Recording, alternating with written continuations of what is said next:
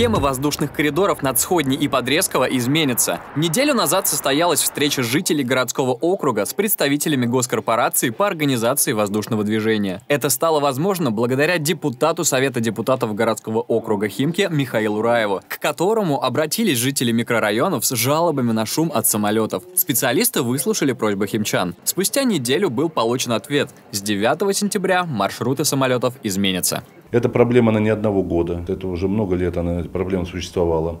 Это была командная работа. Были задействованы все, администрация округа, и депутаты. Э, было куча встреч с Росавиацией. Потом, помимо всего прочего, это беспокоило опять не только наш округ. И близлежащие микрорайоны к Сходней тоже это беспокоило.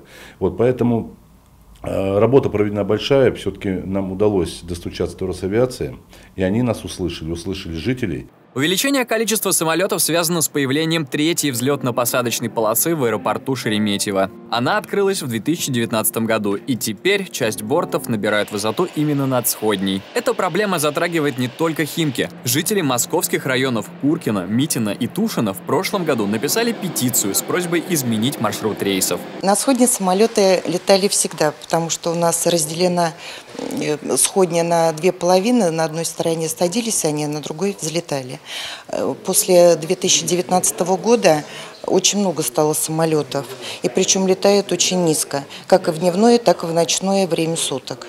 Новые схемы будут приближены к тем, по которым летали самолеты в 2019 году. Тогда было намного тише, и ситуация устраивала жителей.